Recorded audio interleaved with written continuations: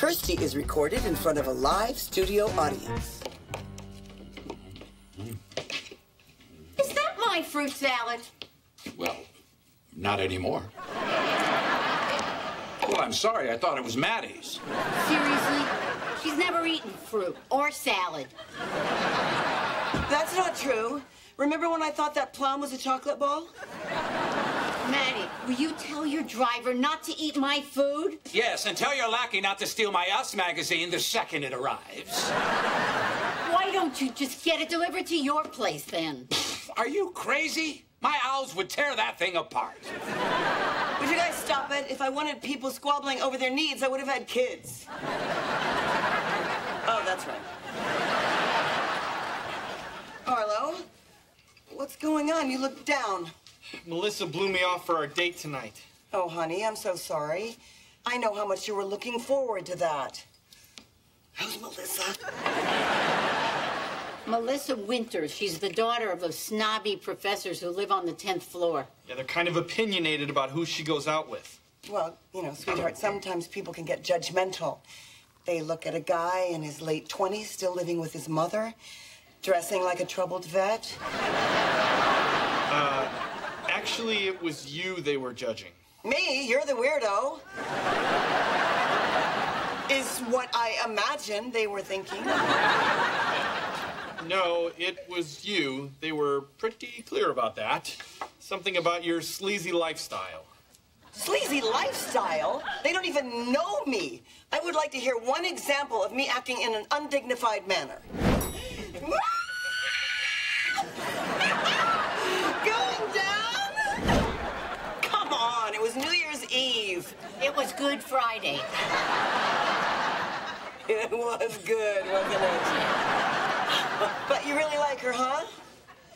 Okay, then this is what I'm gonna do. I'm gonna invite the Winters over to our house for dinner, and I am going to dazzle them with my completely unsleazy lifestyle. Yeah, well, we'll pitch in. Right on. Though I'm a sucker for young love. Guys, forget it. The only thing that impresses these people is brains and class. Well, then I'm gonna show them that I've got brains and class coming out the pooper.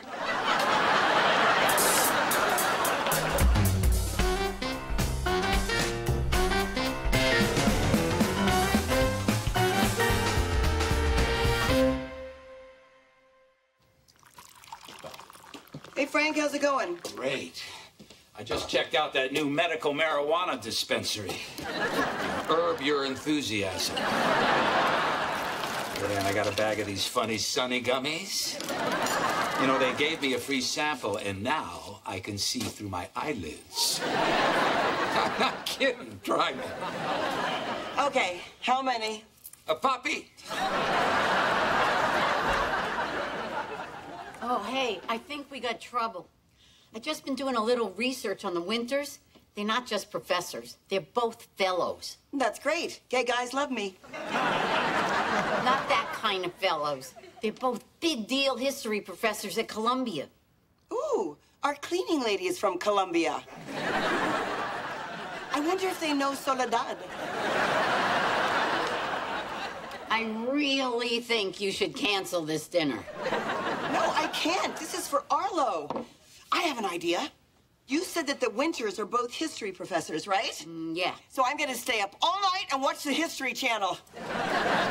Good thinking. Eight years of higher education versus one night of TV. I know, right? I just saved three quarters of a million dollars.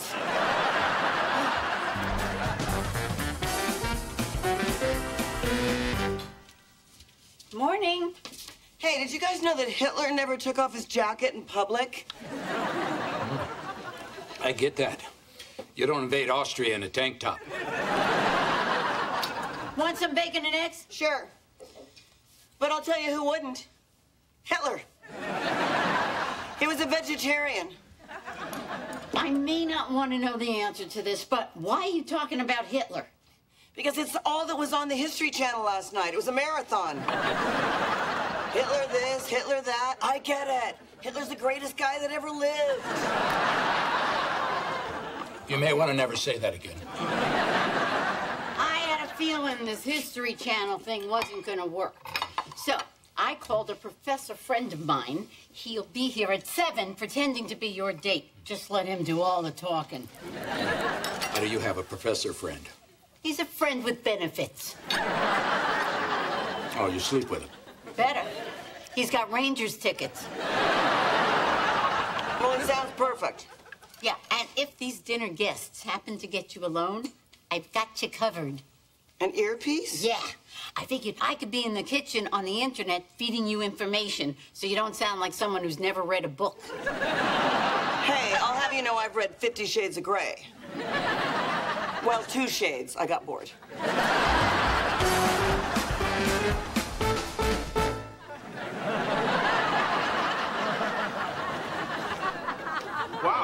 Why are you dressed like that?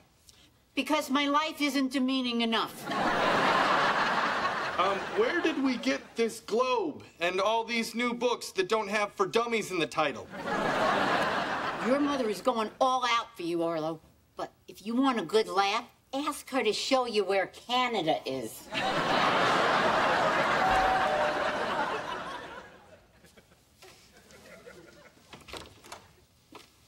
Welcome to the bank's residence. Hi, Melissa. Hello, Daddy, Mother, this is Arlo. Pleasure. No, there's no neck tattoo. I owe you a nickel. Oh, I'm sorry.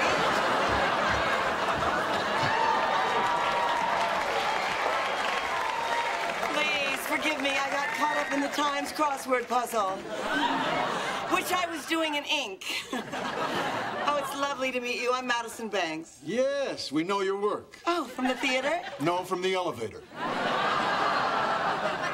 Um, Maddie, this is Melissa. Melissa, this is my mother, Maddie.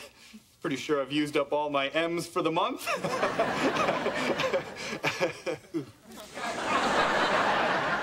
We brought you a hostess gift. Oh, caramels. Yum, yum, yum, yum, yum. They're decorative soaps. Then I'll just have one. Oh, so where's Professor What's his name? Daniker, Frank is picking him up. Now, if they ask you anything, just stall until I can get on the internet. Uh, Madison, I see you're a fan of the Impressionists. Oh, sure. You can't handle the truth.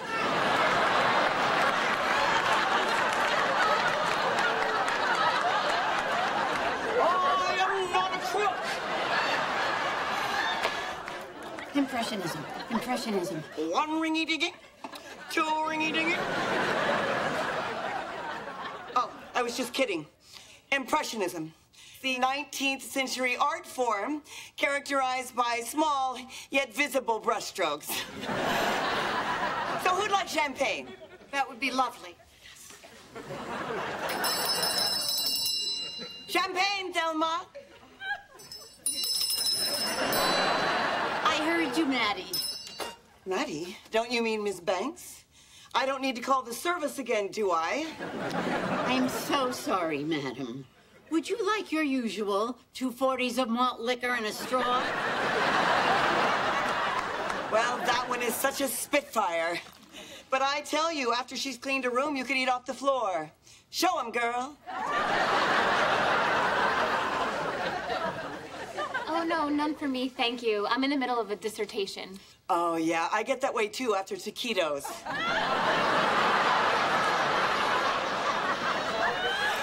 you know, funny story. One time I was on a plane coming back from Cancun. Oh, a dissertation. Again. I know that a dissertation is a very long essay for your doctorate and not severe stomach cramping. Oh, that must be my date, Professor Daniker. Cabot Daniker, the medieval literature scholar? Sure, let's go with that. And I'm a big admirer. I'm told he speaks ten languages, that he's an expert dressage rider and an accomplished pianist. Madison, we had no idea you had friends in academia. No, he's American.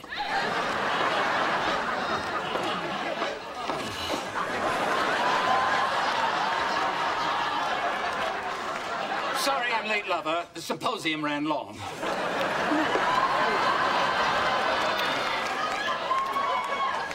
Daniker's passed out drunk in the limo. Look, everyone. It's Cabot Daniker. You speak ten languages.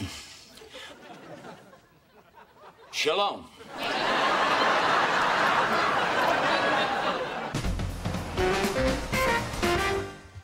Ooh, gummies. Mm. I love these.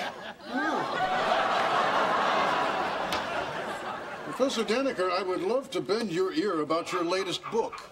Oh, yes, my novel. It was a textbook. Well, yes, it was my novel uh, approach to a textbook.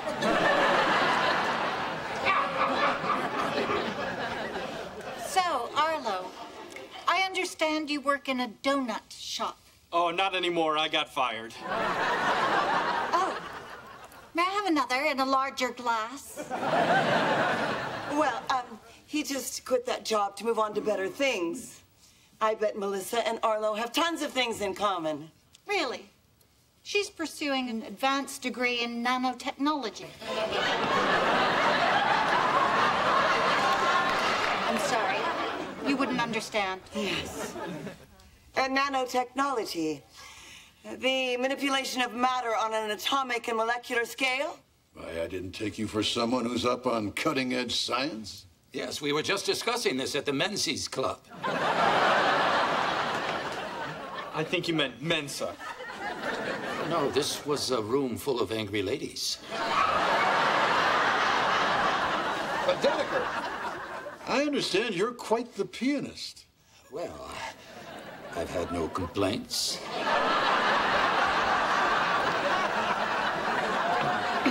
He said pianist. Oh,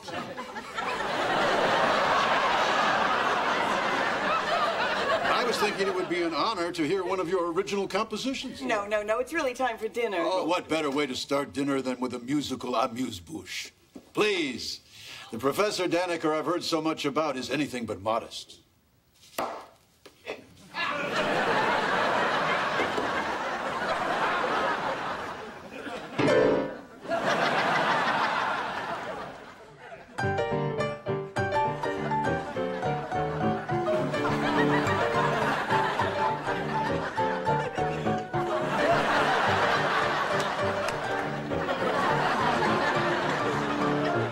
I didn't know you could play. I don't. Then how are you doing this? I'm doing it for Earl. I know, but you're still playing. Hey, I don't ask my hands, and they don't ask me. Is it just me, or is it getting warm in here? You think this is hot? Try standing over a donut fryer wearing a hairnet in the middle of summer.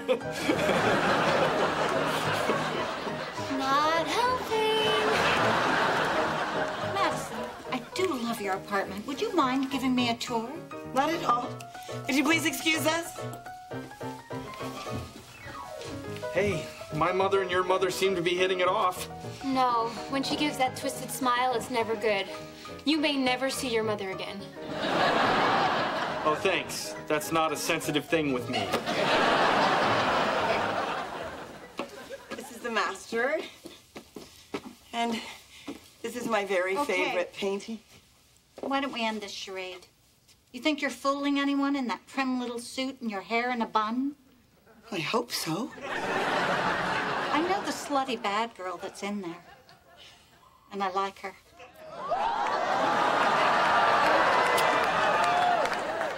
Um, can I have my gum back? What was that? A forbidden kiss from the Garden of Sapphic Delight. Uh, uh, A, I, I don't even know what that means. And B, you're married to a man. My life has been so constrained. I didn't go through this phase in college. They didn't do this sort of thing at Smith. Look, I'm very flattered, Veronica, but I don't. Maybe. Our children brought us together for a reason. What are you talking about? I'm just saying, I could give my daughter my blessing about dating Arlo with a little incentive. You blackmailing me?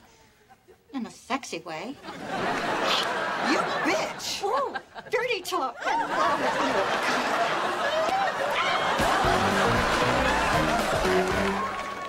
Well, that was a quick tour. Did you show Mrs. Winters everything? No, she didn't see anything. Just eat. Uh, Daniker, I was thinking, why don't you come and be guest lecturer at my seminar next week? Guest lecturer. Sounds like someone's getting a little lazy. Maddie, perhaps we should take a yoga class together. You know, work up a sweat, really stretch each other out. I don't really care for stretching. It's just a gateway to exercise. Sounds like you two really hit it off.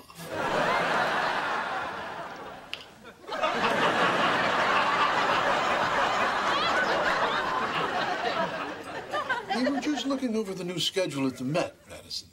A little too heavy on Puccini for my taste. Anything to excite you? Yes, Maddie, what excites you? Well, that's a that's a very interesting question about the opera at the Met. Well, I'll tell you who did like a good opera. Hitler. I bet you didn't see that coming. Yeah, Wagner, I suppose. Well, him I can't speak for, but Hitler couldn't get enough of it. Actually, he had to drop the opera bug because he suffered a partial hearing loss after a bomb went off in Wolf's Lair in 1944. Fortunately, he survived. Oh, I dropped my napkin. Um,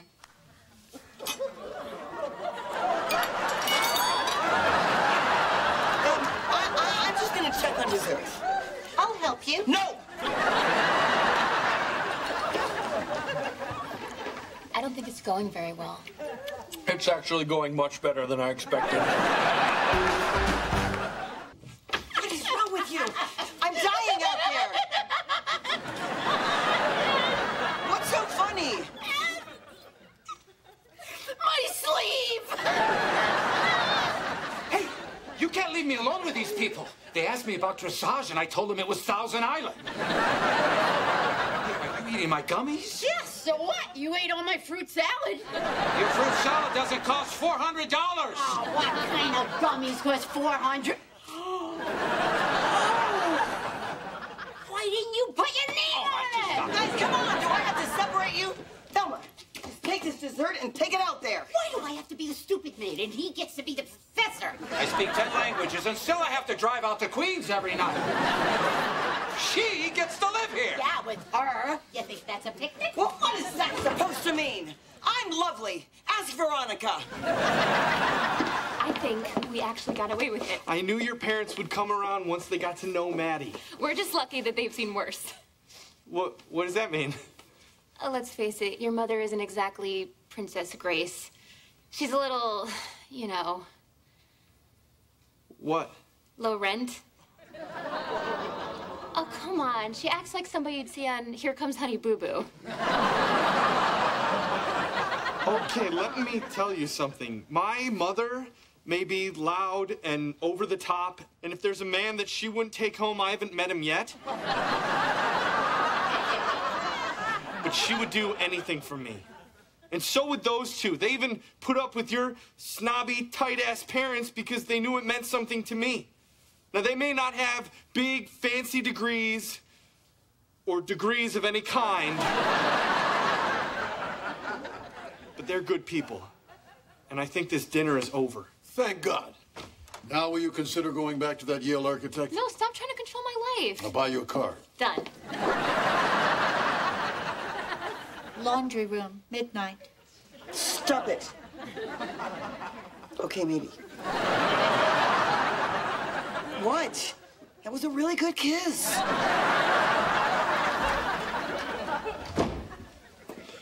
Sorry about Melissa, kid, but you deserve better. Maybe we didn't get the respect of Mr. and Mrs. Stick up their butt, but you sure got mine. But I'm high as a kite, so what am I know? Hey guys, I'm really sorry that I let you all pretend to be something that you're not just to impress those pompous phonies. Oh, let's not be too judgmental, Arlo. I believe it was Hitler who said, forgive and forget.